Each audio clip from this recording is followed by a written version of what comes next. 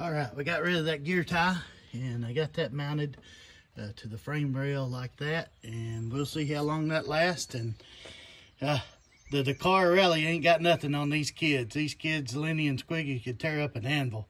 So we'll see how long that lasts and how long it makes it. And uh, I guess if they ain't tearing something up, they ain't making memories. So yeah, what can you do as a dad? You just let it go. Oh, I bought some Mercurochrome too. And uh, we'll see how they like that Mercurochrome after, you know, making some memories of their own there. Mobile mechanic. Like I said, Dakar Rally.